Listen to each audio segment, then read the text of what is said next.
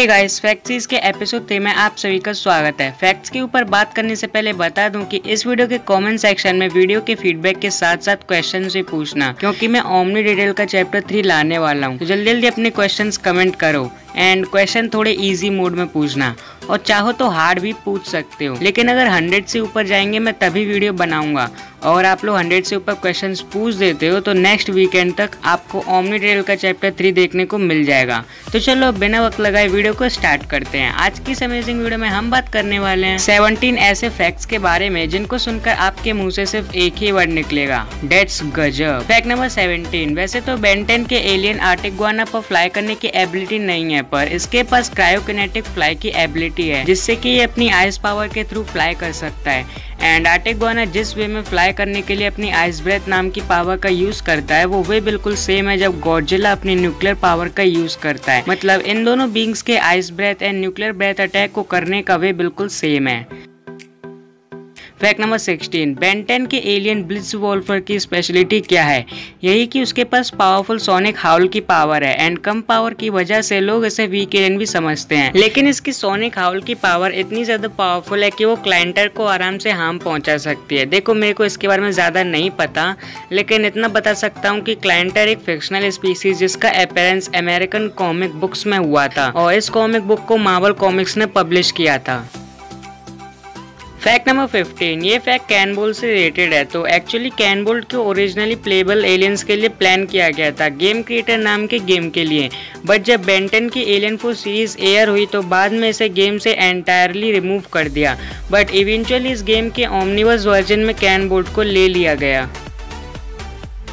Fact number 14 ये fact भी can bolt से रिलेटेड है। तो कैन बोल्ट की जो रोल आउट फॉर्म है, जिसे बॉल फॉर्म के नाम से भी जाना जाता है तो ये जो फॉर्म है, वो मेट्रोइड जो कि एक Japanese action adventure game franchise है, जिसे निंटेंडो ने क्रिएट किया है तो उस फ्रेंचाइज की एक मेन कैरेक्टर है, जिसका नाम है सेमस एरन उस कैरेक्टर की मॉर्फ बॉल एबिलिटी से सिमिलर है। मतलब कैन बोल्ट की ball form and Samus Aran की मॉर्फ बॉल एबिलिटी एक दूसरे से सिमिलर है। फैक्ट नंबर थर्टीन ये फैक्ट डायमंड एड से रिलेटेड है। तो देखो तुम्हें कभी कभी लगता होगा कि बैन अगर अपने डायमंड एड के क्रिस्टल्स को बेचे तो वो काफ़ी अमीर हो जाएगा। और इस टॉपिक पर तो लोग आजकल वीडियो भी बना रहे हैं। मेरे को नहीं पता कि वो क्या रीजन देते हैं वीडियो में। पर जो इससे रिलेटेड ऑफिशियल न्यूज़ है, वो ये है की डायमंड एड टेरीनाइट का नहीं बना है। और इसलिए उसके क्रिस्टल की कोई वैल्यू नहीं है। मतलब उसके क्रिस्टल सारे नकली है। तो कभी भी आपके घर डायमंड एड जैसा सेलर डायमंड बेचने आए तो उससे डायमंड लेकर अपना और अपने पैसों का ना कटवाएँ। धन्यवाद। फैक्ट नंबर ट्वेंटी ये फैक्ट डिटो से रिलेटेड है। तो तुम डिटो के बारे में तो जानते हो ये बेंटन की ओरिजिनल सीरीज़ में ही अपेयर हो गया था। एंड बेंटेन ओमनीवर्स में भी दिखाया गया, पर दोनों सीरीज़ में इसका लुक थोड़ा डिफरेंट था। एंड जो बेंटन ओमनीवर्स वाला डिटो था, उसमें कुछ एलिमेंट्स पिकमिन के थे। पिकमिन एक पजल वीडियो गेम है, जिसको शिगेरू मियामोटो ने क्रिएट किया था एंड निंटेंडो ने पब्लिश किया। फैक्ट नंबर इलेवन अब जैसा कि तुम्हें पता है कि बैन जब भी किसी न्यू एलियन में ट्रांसफॉर्म होता है तो वो रिएक्शन देता है न्यू एलियन में ट्रांसफॉर्म होने के बाद। बट आएगा ऐसा पहला एलियन था जो ऑफ़ स्क्रीन अनलॉक हुआ। इसलिए बैन जब फ़र्स्ट टाइम इसमें ट्रांसफॉर्म हुआ तो उसने कुछ खास रिएक्शन नहीं दिया। और फिर ये ट्रेंड और फॉलो किया गया और बाद में Arctiguana Spitter Feedback and Fasttrack भी ऑफ़ स्क्रीन ही अनलॉक हुए। फैक्ट नंबर टेन तो जैसा कि तुम्हें पता है, एक इलेक्ट्रिक एलियन जैसे कि फीडबैक अपने अंदर अनलिमिटेड एनर्जी एब्जॉर्ब कर सकता है।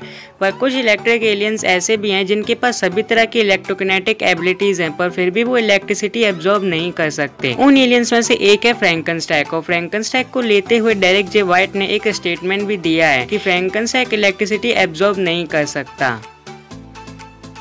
फैक्ट नंबर नाइन बेंटेन काफ़ी ज़्यादा पॉपुलर शो है एंड इसमें कैरेक्टर्स भी काफ़ी सारे हैं। अब आपको तो पता ही है कि किसी भी कार्टून या एनिमे को डब करने के लिए वॉइस आर्टिस्ट चाहिए होते हैं, चाहे फॉरेन हो या फिर इंडिया तो एक्चुअली बेंटेन ओरिजिनल सीरीज़ का एक एपिसोड है, जिसका नाम है घोस्ट फिक्ड आउट तो इसकी इंग्लिश डबिंग में एक लाइन है बैंस नॉट हियर एक्चुअली ये लाइन घोस्ट फिक के वॉइस आर्टिस्ट के ऑडिशन के लिए ली गई थी।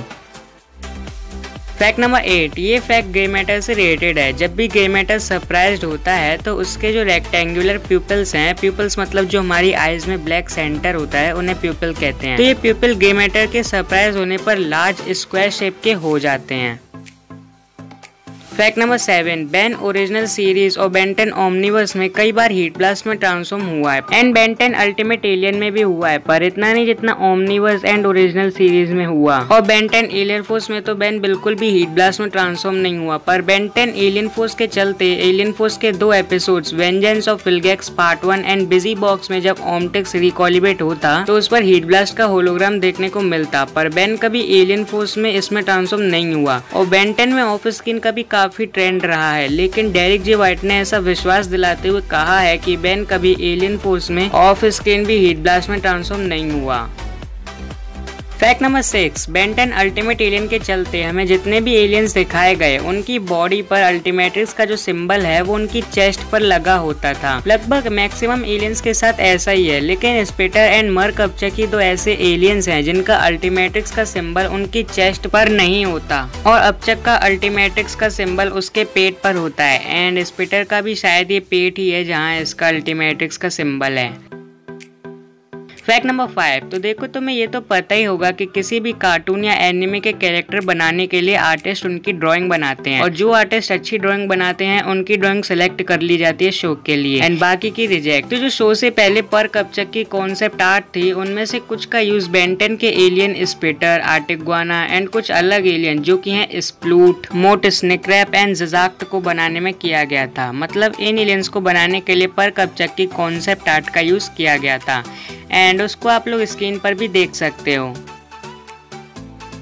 Fact number four Ben ten की मूवी डिस्ट्रॉय ऑल एलियंस में अपग्रेड का जो टेक्सचर था, जो उसकी बनावट थी, वो एक अनस्पेसिफाइड ब्रांड के hi tech computer and tablet पर बेस्ड थी। वैसे रियली उसमें काफ़ी अच्छा लुक था अपग्रेड का, और किसी हाईटेक टेक्नोलॉजी से कम नहीं लग रहा था।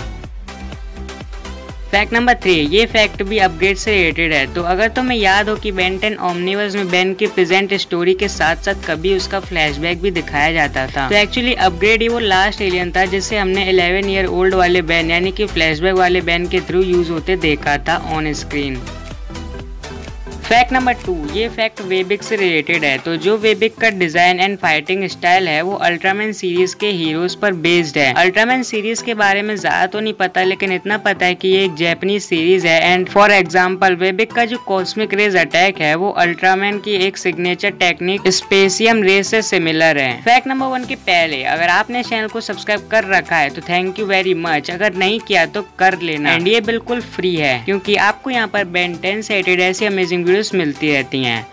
फैक्ट नंबर वन अगर मैं आपसे पूछूँ कि वेबिक का एक्चुअल साइज़ कितना है, हो सकता है आप में से कई लोगों को इसका आंसर पता हो बट मेरे को लगता है कि आप जितने भी लोग वीडियो देख रहे हो, उनमें आधे से ज़्यादा लोगों को नहीं पता होगा कि वेबिक का साइज़ कितना है। तो देखो किसी टोकू स्टार की हाइट निश्चित नहीं है मतलब सभी टोकू स्टार की हाइट एक समान नहीं होती। ये उनके अपेरेंस पर बेस्ड होती है। जैसे की जो वेबिक हमें Ben ten secret of the Omnitrix में देखने को मिला था, उसकी हाइट लगभग हंड्रेड फीट की है, यानी कि लगभग thirty point five meters and and जो वेबिक हमें बेंटन डिस्ट्रॉय ऑल एलियंस में देखने को मिला था, उसकी हाइट 120 फीट यानी कि 360.576 मीटर है। एंड इविल बेबिक की भी हाइट 100 फीट यानी कि 30.5 मीटर है।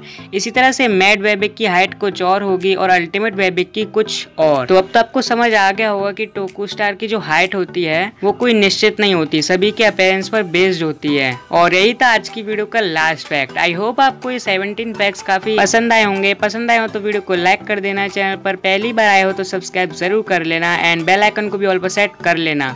कमेंट में फीडबैक दो या मत दो। ऑमनी डिटेल के चैप्टर थ्री के लिए क्वेश्चन ज़रूर पूछ लो। अगले वीकेंड तक वो ज़रूर आ जाएगा। एंड एक बात और, इस वीडियो पर वन के लाइक कर देना फैक्सीज का एपिसोड फोर भी आपको जल्दी देखने को मिल जाएगा। आज की इस वीडियो में बस इतना ही, मैं मिलता हूँ आपसे अगले वीडियो में। Thanks for watching this video next video तक good bye and take care